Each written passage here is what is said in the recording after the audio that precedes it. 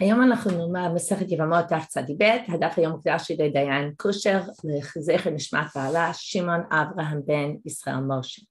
והדף גם מוקדש על ידי טינה ושלום לם לחולדת נכד בצלר בן לשלומית וארי לם. מזל טוב. אוקיי, okay, אנחנו, um, אני רק אודיע כאן שהשיעורים בזום לא יתקיימו בשבוע הקרוב, um, החל ממחר עד יום שלישי הבא. אמ, אבל השיעורים יעלו לאתר כרגיל ויהיו שם אפילו מוקדם יותר, אז אלו שיש תמיד אפשרות ללמוד uh, יחד איתנו, רק לא בזום בלייב. אוקיי, okay, אנחנו, um, אני, אני חייבת לתקן משהו, טעות שניסיתי לתקן אתמול ואיכשהו שכחתי בבוקר ואז התבלבלתי בזה שוב. אז אני רוצה להדגיש את זה עכשיו, אני מקווה שתוכלו כן לחזור אחורה אם אפשר, אבל אם לא אז לפחות ממש מתנצלת על הטעות, אבל מאוד חשוב להבין, במשנה יש כמה מקרים, כן? בואו נחזור, אפילו התחלתי את השיעור עם זה בכוונה לתקן ואיכשהו התבלבלתי, אולי שעה מוקדמת, אמ, אז יש לנו, המקרה הראשון אישה שהלך בעלה למדינת הים ואמרו לה מת בעלך זה עד אחד, כן? זה מה שאנחנו אומרים כל הזמן, זה עד אחד. אז עוברים בעצם לנישאת שלא ברשות, מותרת לחזור לו, זה הכוונה ש... היו שני עדים, אבל לא בבית דין, ואז, מה שתמיד מבלבל אותי, ואז כתוב נישאת על פי בית דין, תצא ופטורה מן הקורבן. מה זה נישאת על פי בית דין תצא? זה לא מה שהסברתי מקודם. נישאת על פי בית דין זה אומר, אם היא נישאה על פי עד אחד, ובית הדין קבעו שעד אחד זה בסדר, ונראה את זה גם היום, זה יהיה די ברור, שעד אחד, על פי בית דין הכוונה על ידי עד אחד, שהיה עד אחד, בית דין קבעו שהיא חולה, כי זה ההלכה שקבעו שעד אחד זה מספיק, ואז התברר שזה טעות, אז בעצם מה שאומרים, תצא, היא חייבת לצאת, כי בעצם הוא חיים, אבל היא פשוט לא צריכה להביא קורבן, כי זה היה על פי בית דין, זה ההבדל. Okay? אוקיי? ההבדל בין זה לבין לא נישאת על פי בית דין, שזה, כן, אם זה לא על פי בית דין צאצא וחייבת בקורבן, אם זה לא שהבית דין קבעו, אז היא פשוט צריכה קורבן, כי זו האחריות שלה, למרות שנראה היום שאולי יש דעות שונות בנושא. אבל כל הזמן כשאנחנו מדברים על פי בית דין, הכוונה זה על פי עד אחד, ובית דין קבעו על פי העד אחד הזה. עכשיו אנחנו למטה בצד א' עמוד ב', אמר רב אשי, שלוש שורות מלמטה. וזה דין מאוד מאוד מעניין, ו, ושאלה מהם ההשלכות של הדין הזה, ובאמת רואים שלמרות שכתוב בגמרא שלא עושים כאלה דברים, הביתים בימינו הרבה פעמים כן עושים כאלה דברים, וזה, וזה באמת שאלה איך, איך הם מתמודדים עם הסוגיה שלנו, ו, ונראה. ולקלה לא חשינה. אנחנו לא חוששים לקלות. מה זה קלה? קלה זה קל"א, זה קור, זה בעצם שמועות, כן? כל הזמן יש שמועות, אז אם בעצם אומרים שהבעל חי, ויש שמועות כאלה, אבל זה לא עדות, לא סומכים על זה. שאלה, מה, באיזה מקרה? היי קלה, איזה סוג של קור? אילמה קלה דבתר נישואין, הרש"י חד הזימנה, בטח הוא לא מדבר על הכל שבא אחרי שהיא כבר התחתנה מחדש, שוב, הגיע עד אחד, האישה הזאת מתחתנת, ואז יש פתאום שמועות שהוא בחיים. ואם היא כבר התחתנה עם מישהו אחר על פי העדות של העד אחד, אז רב אשי לא מדבר על זה כי הוא כבר אמר את זה במקום אחר ואין שום סיבה שהוא יחזור על הדברים בצורה אחרת. ואיך אנחנו יודעים? דאמר רב אשי, כל קלה דבתר נישואין לא חשינה. עצם כשיש קול, וזה הדין שאני התכוונתי, זה דין מאוד מעניין, כשמישהי כבר התחתנה, אנחנו לא פותחים שוב את התיק, אוקיי? ולא אומרים, ובואו נסתכל ברש"י, וזה מעניין כי בעלי אמר לי, בדיוק דברים כאלה קורים בבתי הדין למרות שכתוב שאי אפשר. כל קהל דבתי נישואין כגון כהן שנשא אישה ואחר כך יצא עליה כל גרושה או זונה. דווקא היה מקרה שלא מזמן, בעלי התעסק בו, שמישהו היה נשוי ולא ידע בעניין הכהונה והגרושה, אני חושבת שהוא היה נשוי לגיורת, ומישהו הלשין עליו לבית הדין, ואני אפילו חושבת שאולי הזכרתי את המקרה הזה, ומישהו הלשין עליו בעצם, וטוען שעכשיו הוא לא יכול להיות נשוי לאשתו, בבית הדין התערבו בסיפור. עכשיו לפי הגמרא שלנו, אם הוא כבר נשוי אי אפשר לפתוח את זה, אוקיי? השאלה גם, אולי זו הגדרה מה זה קול, מה זה, כן? כאילו, האם יש לו עדות, האם עדות ולא קול, כן, אולי אז, אבל באמת רואים את הסיבוך כשמישהו כבר נשוי, שיש לדונו בצורה קצת אחרת, אוקיי? אז מהו דתמה, הוא יבעת אז עכשיו, אם רב אשי כבר אמר את זה, אז למה צריך לחזור על זה שוב? אז אומרים, אה, לא, יש צורך. מהו דתמה, הוא יבעת לבית דינה ושרינן, כקלה דקמי נישואין דמי ותיצר, כמה שמונה. מה היינו חושבים? הרי בעצם יש לנו מקרה שבית הדין התירו על פי עד אחד. כשבית הדין מתירים על פי עד אחד, זה בעצם כאילו אומר שהם חוששים לקרוא, אולי הוא לא מת, אולי הוא מת, כי יש רק עד אחד.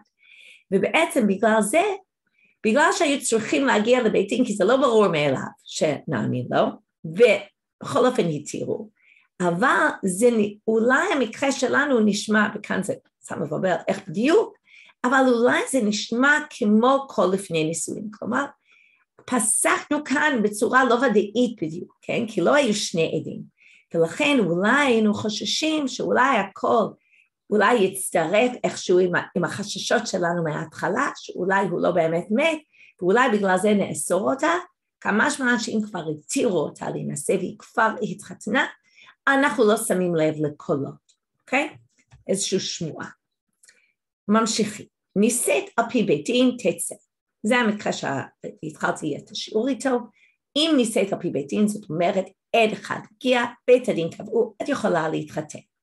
ופתאום הבעל, אז היא תצא מזה ומזה, כן, וכל מה שלמדנו מקודם.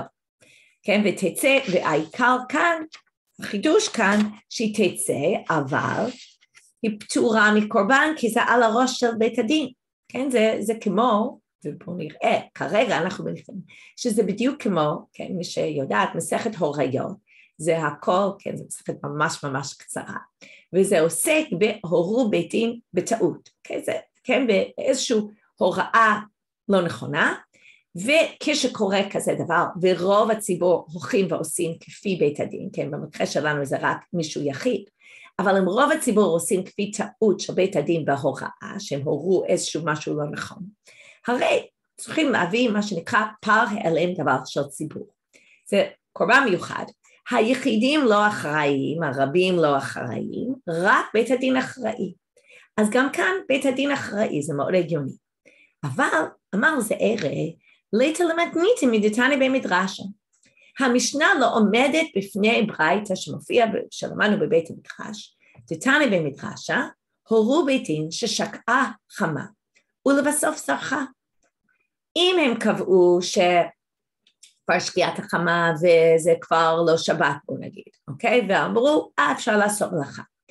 ואז התברר שזרחה השמש, כן היה יום סוער והם חשבו שזה כבר לילה וכן זה קורה כמה פעמים, כן לא היו להם שעונים וקורה כמה פעמים מוגרה שאנשים טועים בדבר הזה, גם בערב שבת, גם קצת בסוף שבת והתברר שהם טעו לגמרי. עכשיו, לאיזה קטגוריה זה נכנס? זה לא טעות בהוראה, שהם לימדו שמשהו לא נכון, אלא זה סתם טעות, אין זו הוראה אלא טעות.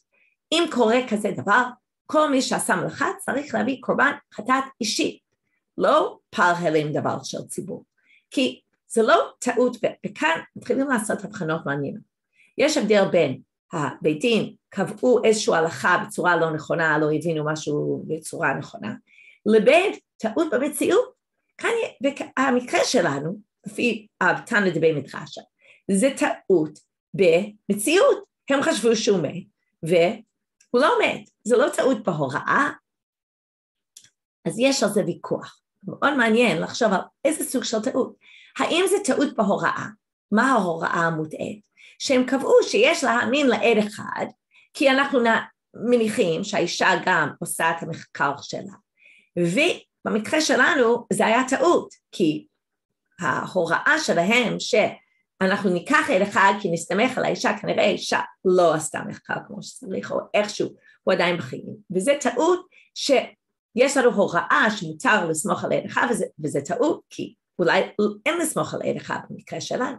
או האם זה פשוט טעות במציאות? הם קיבלו את העדות של העד אחד, אבל התברר שהיה טעות כאן, וזה לא היה נכון.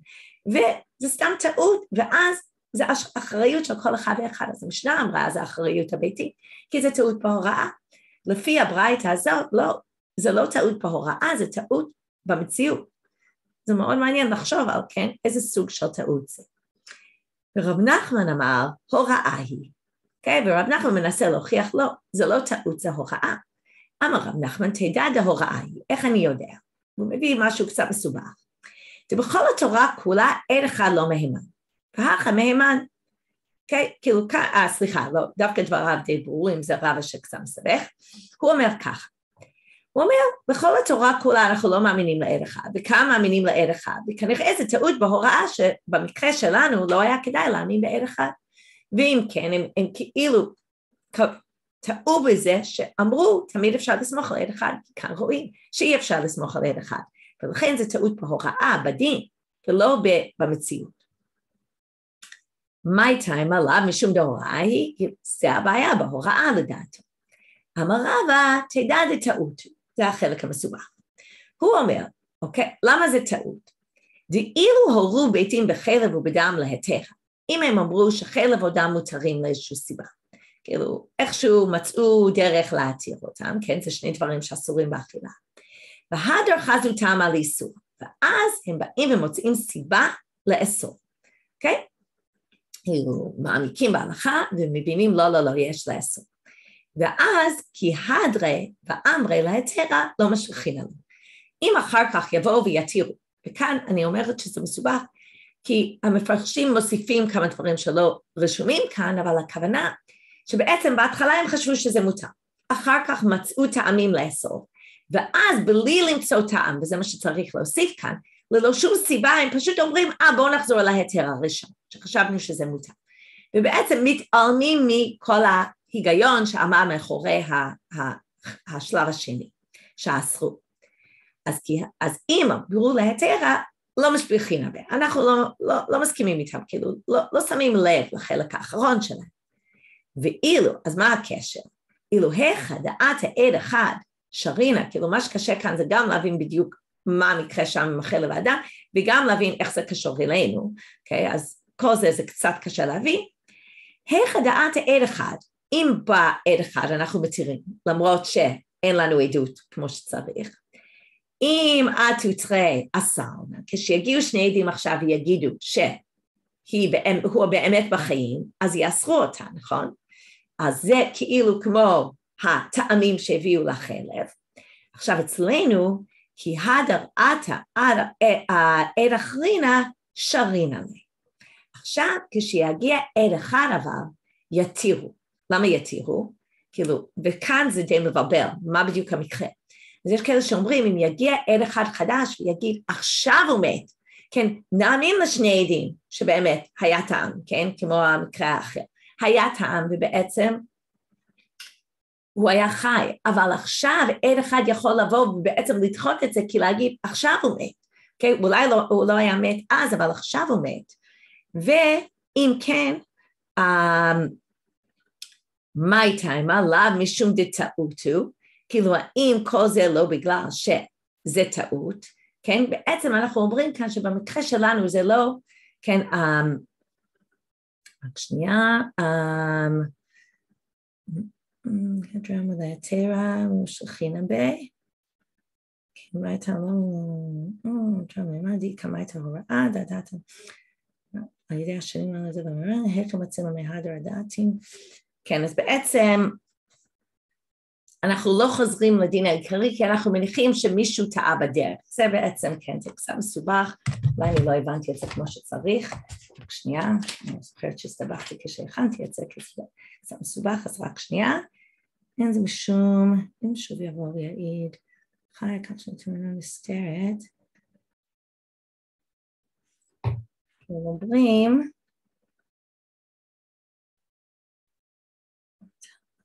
אין זה משום שתראינו הראשוני הטעות. אם כן,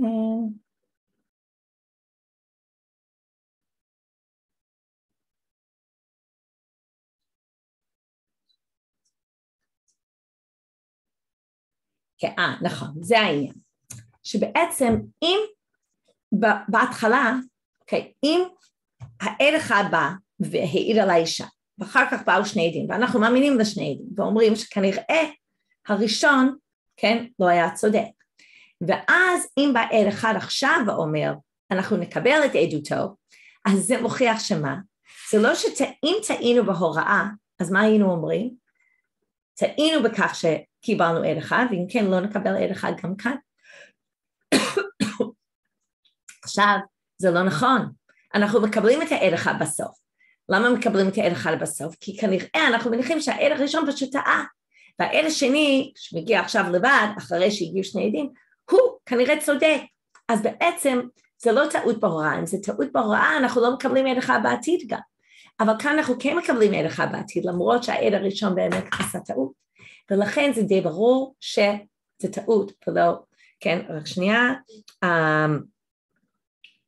כן, זה טעות ולא הוראה, אוקיי? זה מה שרבא מנסה להוכיח.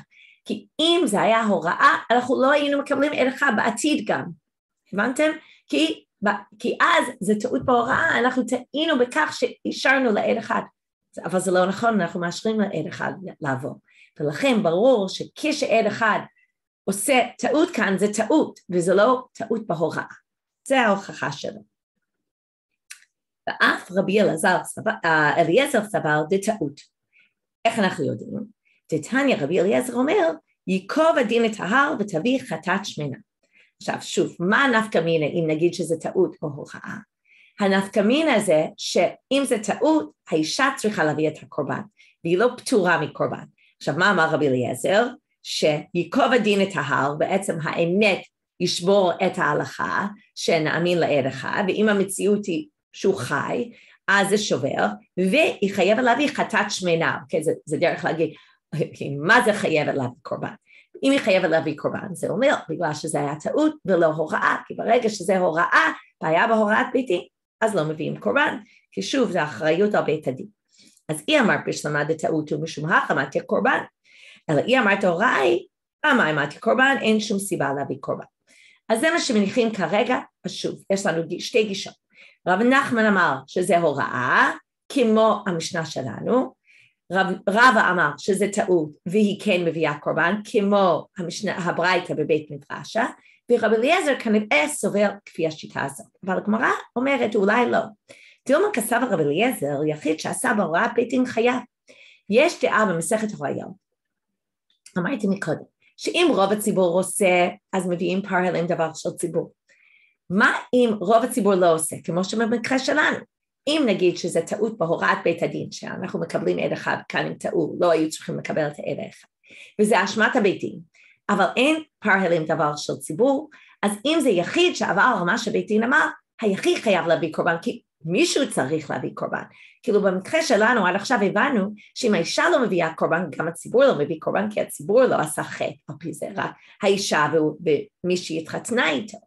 אז אם כן הם אומרים, אולי רבי אליעזר מכריח אותה להביא קורבן בגלל שהוא סובר שאם זה יחיד, כן יש מחלוקת אבל הוא סובר בדעה, אם יש יחיד שטעה בהוראה ביתית הוא צריך להביא קורבן, אז לכן היא מביאה.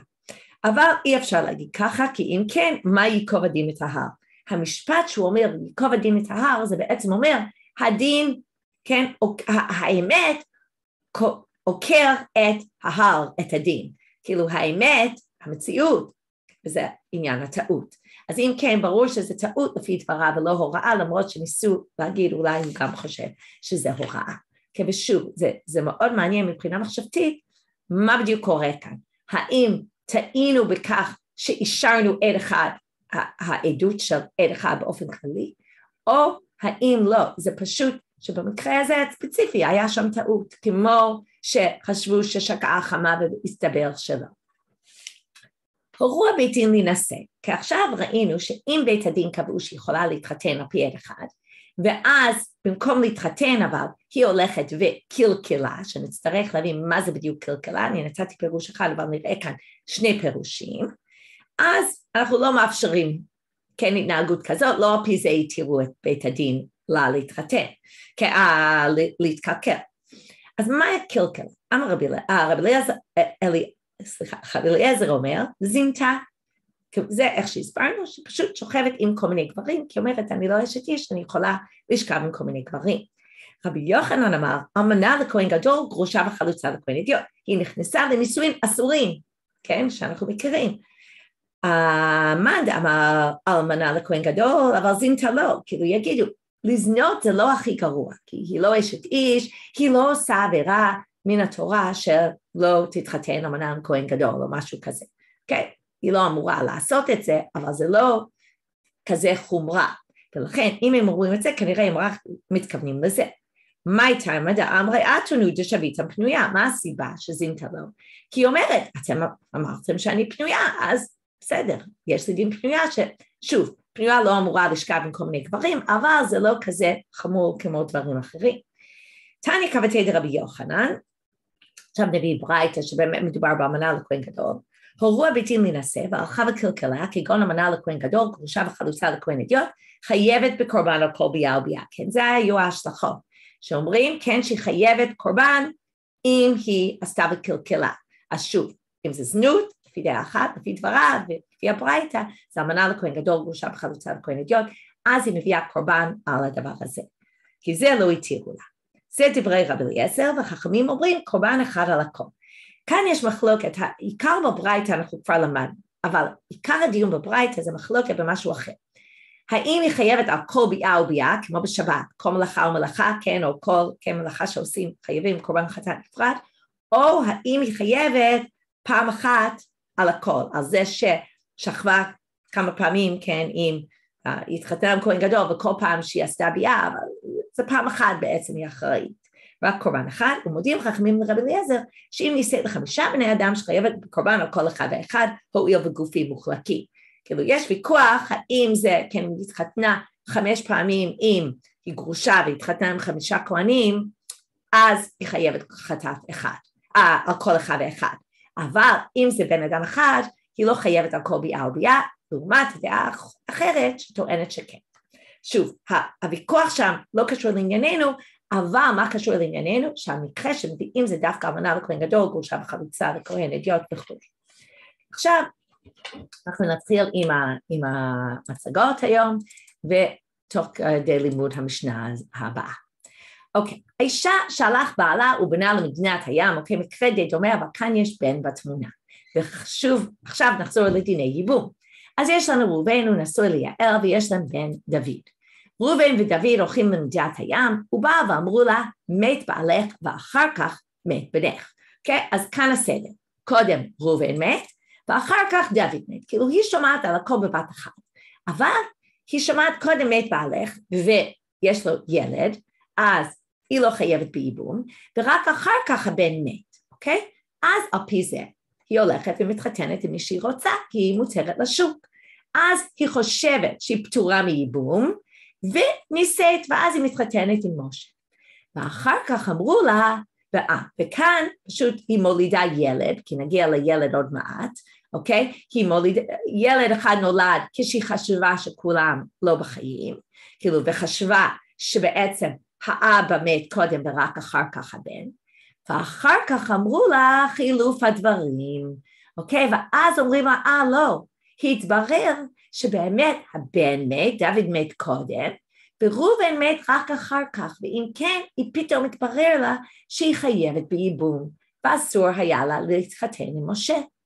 אז תצא, שוב, אנחנו, כן, אומרים לה, את חייבת לצאת מהנישואין, והוולד ראשון ואחרון ממזר. כאילו כאן הדין, כן, כאן, בואו נחזור שנייה, רציתי להראות כאן שאחרי שהיא מתברר לה שהיא חייבת בייבום, היא מולידה עוד ילד נתן, ועכשיו אומרים לה, דבר ראשון, את צריכה גט. דבר שני, שאול, הבן הראשון הוא ממזר, כי חשבת, כאילו למרות שזה היה בטעות, עדיין לא היית יכולה להיות נשואה למשה והיית אשת איש, אז אין מה לעשות, כאילו, לא, אז עכשיו היא לא בדיוק אשת איש, אבל היא שומרת יבם, אז הוולד ממזר, ונצטרך להגיע לזה, כי לא כולם מסכימים שוולד ממזר משומרת ייבום, נכון? זה רק רבי עקיבא, נגיע לזה, כי רבי עקיבא אומר, זה רק חי ולאו, נכון? מה שהיא עשתה עם משה, זה לא תעשה, לא תהיה אשת המת חוצה לאיש שר, אז נראה שמשנה הולכת לפי רבי עקיבא, שהוולד מחי ולאו אם זה ממזר, וגם השני ממזר כי היא צריכה לגרש את מוש, להתגרש ממשה והיא לא מתגרשת עדיין ומולידה ילד גם הוא ממזר. זה יותר הגיוני שהוא ממזר. ממשיכים. אמרו לה מת בנך, כי עכשיו אם אמרו לה אז שוב יש לנו ראובן ויעל והיא נשואה לדוד ואמרו מת, כאילו ראובן ודוד נוסעים ומת בנך, כאילו אומרים לה שניהם מתו, אבל קודם הבן מת, ואז ראובן מת. אז מה קורה? היא חייבת בייבום אם כן, היא חושבת, כן? אז בנית ימה, היא חשבה שהיא חייבת בייבום, והיא הולכת ועושה ייבום עם שמעון, ומולידה ילד שקוראים לו שאול, ואחר כך אמרו לה חילוף הדברים, החילוף היו הדברים, ואז אומרים לה, אה, התברר שטעינו. לא היית חייבת בייבום, עכשיו מה הבעיה? היא התחתנה עם אשת אח ללא שום, כן, ללא היתר ייבום, אם כן זה כבר איסור כרת, הבן שלהם בטוח יהיה ממזר, זה שאול, והדין הוא תצא, היא חייבת להתגרש ממנו, והוולד ראשון ואחרון ממזר, אותו דבר שני הילדים, גם לפני שהיא התבררה שזה טעות וגם אחרי הטעות שניהם ממזרים. מקרה הבא, אמרו לה מת בעלך ונישאת, אז ראובן נשוי ליעל וראובן הולך למדינת הים, ואחר כך אמרו לה, כאן זה מסתבך, אוקיי? היא חושבת שהוא מת. עכשיו, היא מתחתנת עם משה, ואז אומרים, ויש להם ילד שאול, ואז אומרים לה, אה, טעינו, קיים היה, הוא באמת היה בחיים כשהיא התחתנת עם משה, ומת, אבל באמת עכשיו הוא כבר מת, כאילו שוב, כל זה בא בבת אחת, אוקיי? Okay? שמישהו בא ואומר, שתדעי יעל, הוא באמת היה בחיים אז כשאמרת לך שהוא, כאילו כששמעת שעד אחד אמר שהוא מת, והתחתנתי עם משה ללא שום, כן, נגד ההלכה, אבל הוא כבר מת, עכשיו הוא מת, אוקיי? אז הדין הוא תצא, היא חייבת להתגרש, והוולד הראשון ממזר, אבל במקרה הזה הוולד אחרון אינו ממזר. למה הוולד אחרון אינו ממזר? כי עכשיו למרות שהיא צריכה גט, בעיקרון עכשיו בעלה כבר מת, היא לא אשת איש. אז הוולד שנולד מהזיווג של יעל ומשה עכשיו, אם הם לא יתגרשו, כאילו זה רק מדרבנן היא צריכה להתגרש. אבל מדאורייתא זה בסדר. אז הוולד אינו ממזר, יש כאלה שאומרים, הוא כן ממזר מדרבנן, אבל לא מדאורייתא, כי דרבנן, החכמים הכריחו אותה לצאת מהנישואין. כן? ועכשיו אומרים, אף פי, אה, רק שנייה, באמת, אוקיי, אמרו לה מת בעלך, מקרה הבא. כאן ראובן ויעל נשואים, שוב ראובן הולך למדינת הים והיא חושבת שהוא מת והיא מתקדשת עם משה, זאת אומרת, כן, היו קידושין ולא נישואין. עכשיו, אחר כך באה בעלה, אז זאת אומרת שהיא לא שכבה עם משה עדיין, כן, לא קיימה יחסים.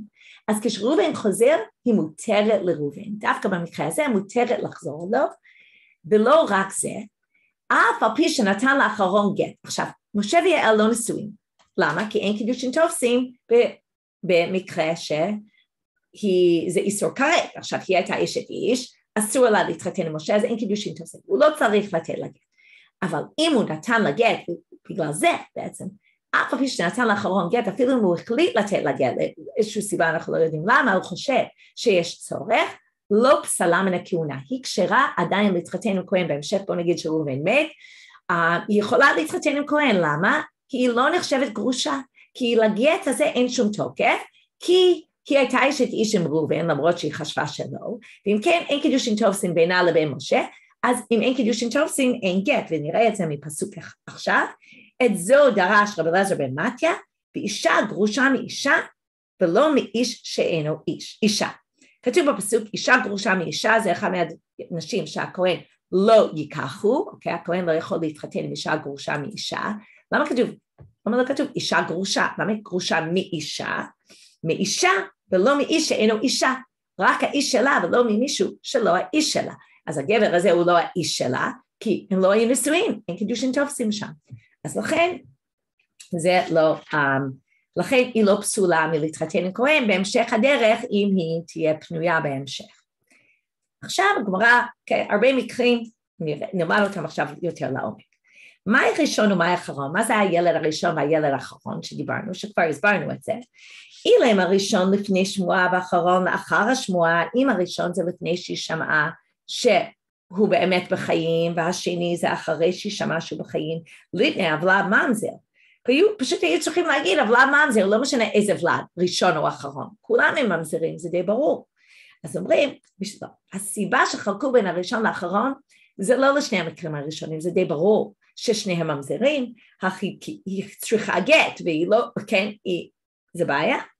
משום דקבאי למיני סיפא אמרו למת בעלך וניסית ואחר כך אמר לקיים היה ומת הראשון ממזר האחרון אינו ממזר תענינה מריש הראשון והאחרון ממזר בגלל שבמקרה שראינו יש מקרה אחד ששם יש חילוק בין הראשון והאחרון כי בסיפור הזה הוא באמת היה קיים בסופו של דבר אבל מת וברגע זה הוא כבר מת ולכן האחרון אינו ממזר אז לכן במקרים הראשונים הביאו פיצ, פיצלו בין המקרים ודיברו גם הבן ראשון וגם הבן שני למרות שלא היה שום סיבה כי הדין אותו דבר וההיגיון אותו היגיון אבל הביאו את החילוק רק בגלל ההמשך.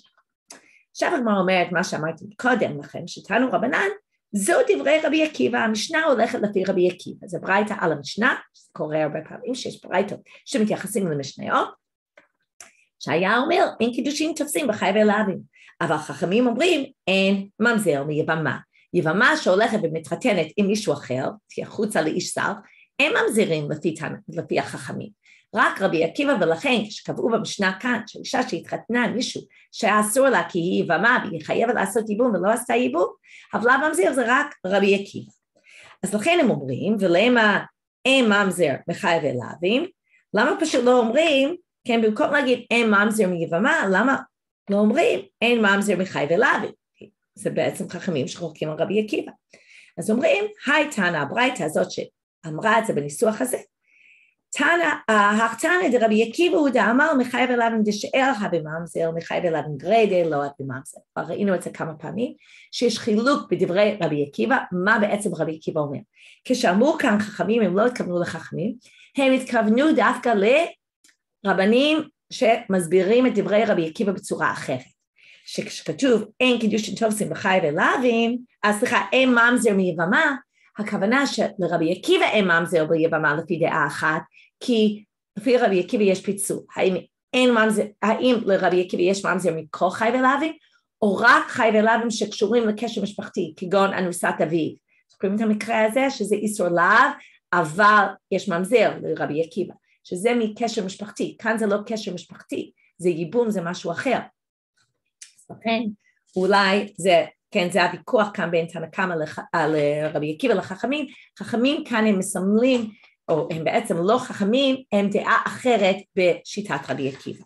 ולכן ניסחו את זה, ולא אמרו אין קידושין תופסים בחי ולאווים, אמרו אין קידושין תופסים במקרה הזה, כי בחלק מחי ולאווים הוא חושב שכן, רק לא במקרה שלנו, כי זה לא שאר. אמר רבי יהודה אמר רב, עוברים ב', מניין שאין קידושין תופסים ביבמה. Okay, אוקיי, עכשיו אנחנו נדבר על ויכוח אם, האם קידושין תופסים ביבמה או לא. אז שוב, מה זה אומר ביבמה? אישה שהייתה צריכה לעשות ייבום, שראינו במשנה שלנו, ובמקום לעשות ייבום, כן, היא מתחתנת עם מישהו אחר. האם הקידושין תופסים איתו או לא?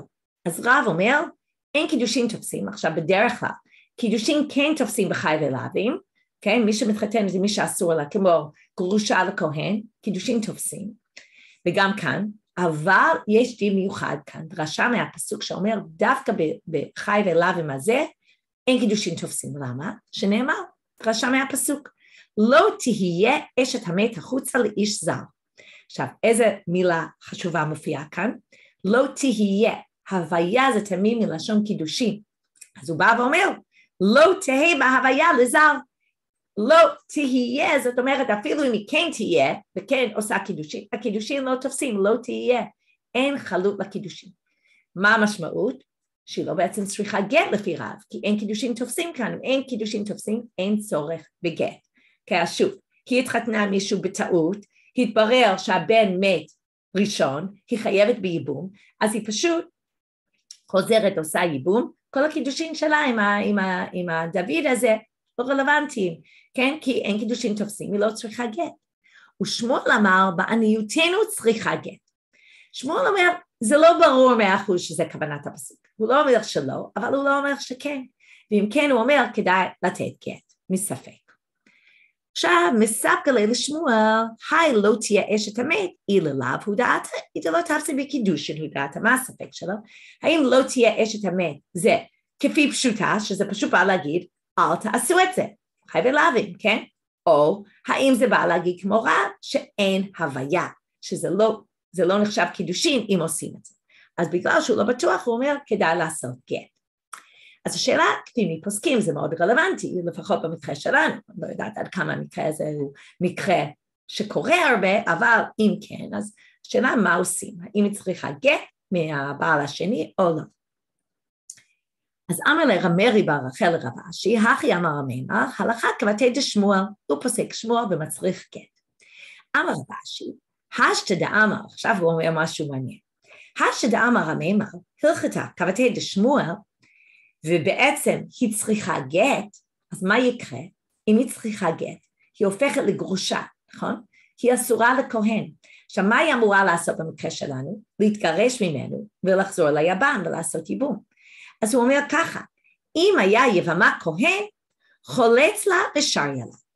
אם היבם היה כהן, אז כדאי לו לחלוץ לה ולהתיר אותה למשה, לדוד, אני כבר לא זוכרת מי זה היה בזה, אבל כן בואו בוא נעלה את זה ונראה. Okay, אוקיי, בעצם שוב, אז היא, זאת אומרת עם הבנים, אוקיי. היא חושבת, כן, התברר בסופו של דבר שדוד מת ש... אה, לא, זה לא המקרה שלנו, כן, זה המקרה הראשון. אוקיי? אז כן, היא התחתנה עם משה, חשבה שהיא פטורה מייבום, התברר אחר כך שהיא חייבת מייבום, אז היא, היה, היא הייתה עם משה, והיא בעצם צריכה לקבל גט ממשה לפי שמואל, בגלל, בגלל שהם, יש קידושים תופסים במקרה הזה, ורק אז להתחתן, לעשות ייבום עם האח של ראובן. עכשיו, מה העניין? אם הוא כהן, ראובן והאח שלו שמעון, יעל לא יכולה להתחתן איתו כי היא תהיה גרושה לפי שמוע. אז אם כן, במקרה הזה אומר רב אשי, עושים הפוך על הפוך. במקום שהיא תתגרש ממשה ותתחתן עם שמעון, בואו נעשה הפוך. שמעון תחלוץ לה, ואז היא תהיה מותרת למשה. מאוד מעניין. אז הגמרא לא אוהבת את זה בכלל, ואומר, התגורי, התגר מה?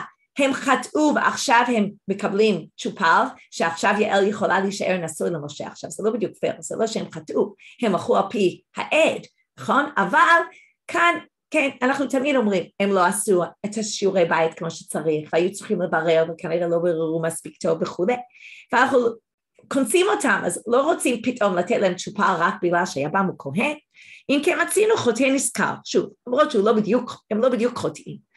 אבל לכן הם משנים את מה שרב אשי אומר ואמרו לא לא לא זה בטח לא מה שהוא אמר, הוא אמר אלא אם היה יבמה ישראל נותן לשני גט והותרה לו, הוא בא בעצם להגיד שאם היבם היה ישראל ומשה יכול כאילו לגרש אותה וזה לא יפסול ממנה את האפשרות לעשות ייבום עם שמעון, אז נותן לשני גט ויעל הותרה למשה, שזה בעצם הדין הבסיסי. כן, אבל זה מדגיש שבעצם יש בעיה אם הוא כהן. אמר רב גידל אמר רב, אמר רב חייא בר יוסף אמר רב, אז הוא מוסר בשם רב, יבמה קידושין אין בה, נישואין יש בה. זה משפט מאוד לא מובן ונראה שלוש אפשרויות להבין. יבמה למדנו שאין קידושין תופסים, זה מה שרב אמר מקודם. אין קידושין תופסים, אבל נישואין כן תופסים. זה די מוזר, זה מה שהגמרא תגיד, רגע, אין קידושין אין, אי קידושין אין לה, נישואין נמי אין בה, כאילו, מה זה אומר? השלב הראשון לא עובד, אבל השלב השני עובד, כאילו הנישואין באים אחרי הקידושין, אם הקידושין לא תופסים, איך הנישואין תופסים? אז נראה שלוש אפשרויות להבין את המשפט, אימא, קידושין ונישואין אין בה, אוקיי? דבר, אפשרות ראשונה זה להגיד לא, לא, הוא התכוון להגיד בדיוק הפוך, אין קידושין ואין נישואין, זה אפשרות ראשונה. אי בית אימה, מהי נישואין יש בה? בזנות, כדרב אמנונה. מה זה הנישואין שיש בה? זה בזנות, כלומר היא יכולה לזנות כאילו אם, כן כדי רב אמנונה בואו נראה, דאם רב אמנונה שומרת יבם שזינתה אסורה ליבמה, אם היא הולכת בזנות מישהו אחר זה אוסר אותה על היבם, שומרת יבם שזינתה אסורה ליבם, לא כולם מסכימים עם זה, אבל זה מה שהם מניחים שאולי זה הכוונת רב, הרב כשהוא אמר את זה. היא בית אימה לעולם כדאמרה מי ככה, אולי באמת אפשר להבין את זה כפשוטה, קידושין אין בה, נישואין יש בה, דמחלפה באישה שהלך בעלה למדינת הים, בגלל שזה דומה לאישה שהלך בעלה למדינת הים, כאילו הם רוצים לעשות השוואה, וכמו שאז קונסים אותה ואומרים שכן אנחנו נתייחס לזה כאילו היא נשואה והיא חייבת גט, זה הכוונה כאן, okay? אוקיי? וכן נצריך לגט מנישואין אם היא באמת התחתנה עם מישהו אחר. אמר רבי ינאי, אנחנו עדיין ממשיכים בנושא הטעון הזה, האם קידושין תופסים ביבמה או לא, okay? אוקיי? שהיה מחלוקת רב ושמואל והמשיך כמחלוקת, אמר רבי ינאי בחבורה, נמנו וגמרו, אין קידושין תופסים ביבמה. אוקיי? Okay? הצביעו ואמרו, כמו רב דווקא, למרות שראינו מקודם, פסקו כשמואל, דווקא אמרו, אין קידושין תופסים ביבמה. אמר לרבי יוחנן, רבי, לא משנתנו מזה? מה, אי אפשר לראות את זה במשנה שלנו עכשיו, משנה שלנו זה לא המשנה שלנו כאן, משנה אחרת, הוא מתכוון בספר משניות שלנו, שהמשנה הזאת היא ככה, דתנן, האומר לאישה, הרי את מקודשת לי לאחר שאתגייר, לאחר שתתגיירי, לאחר שאשתחרר, לאחר שתשתחררי, לאחר שימות בעלך, כן, זה כל מיני מצבים שלא קיימים עכשיו, כן, זה, היא לא שכ... כן, היא, היא עדיין שפחה כנענית, היא עדיין לא יהודייה, היא עדיין, כן, לאחר שימות בעלך, לאחר כן היא עדיין נשואה, לאחר שתמות אחותך, כי אסור לו אם האחות עדיין בחיים, כן, ועם אחותה, או לאחר שיחלוץ לך יבימך, יבים, כן, זה בדיוק המקרה שלנו. אחרי החליצה את תהיי מקודשת לי. אינה מקודשת. עכשיו, למה היא אינה מקודשת? בגלל ש... מה? אין קידושין תופסים. אם אין קידושין תופסים זה מה שנקרא, אדם לא יכול להקנות דבר שלא בא לעולם. עכשיו, זה לא בא לעולם עדיין, כי כרגע אם הוא היה מקדש אותה כרגע, אין קידושין תופסים. זאת אומרת שזה דבר שלא בא לעולם כרגע בשבילו, להתחתן איתה. ולכן אפשר ללמוד את זה מהמשנה, אז מה אתה אומר שהחליטו והצביעו? הרי זה משנה מפורשת. אז אמר לה, הילה דדלה לך חספה ממשכחת מרגנית התותה. אם לא הייתי מרים את החרס, לא היית מוצאת את המרגלית מתחת. כלומר, לא הייתי אומר שהחליטו שאין קידושין תופסים, לא היית מבין את המשנה בצורה שכזאת. אוקיי? כי יש דרך אחרת להבין את המשנה. אז אמר לי ריש לקיש, אילאו דגלסך גברא רבא, הווה אמינא לך אנא מתניתין רבי עקיבא דאמר אין קידושין תופסים בחי ולאווים.